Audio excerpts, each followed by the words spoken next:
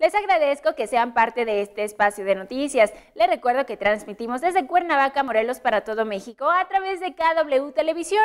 Los invito también a suscribirse a nuestro canal en YouTube En Serio Noticias y compartan nuestro contenido. Vamos a dar paso a la información y es que la extinta alcaldesa de Temisco, Gisela Mota, fue sacada de su recámara y asesinada en la sala de su casa ubicada en Pueblo Viejo. La periodista se habría sacrificado por su familia, según narró la señora Juana Ocampo, madre de Gisela, quien reconoció que el acto responde al clima de inseguridad que priva en el Estado, pero negó que su hija haya recibido amenazas. Cuestionada por los hechos, la señora Ocampo mencionó que estima que participaron al menos 15 hombres. Sin embargo, siete encapuchados ingresaron al domicilio sin armas a la vista y sometieron a la familia. Los golpes que traigo en la cara yo no me los quise maquillar, yo no me maquillo, pero aparte porque quiero que ustedes vean lo que hacen con, no nada más con la familia, porque no éramos presidentes, éramos ciudadanos,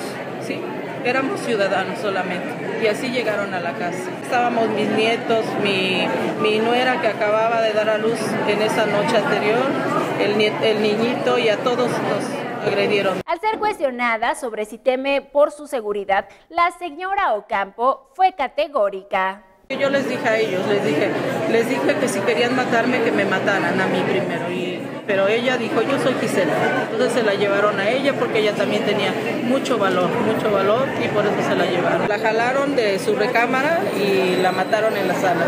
Subrayó que no hará declaraciones sobre los responsables y al respecto pidió respeto. Yo no voy a decir en ese sentido nada, que se respete la investigación porque tampoco quiero entorpecer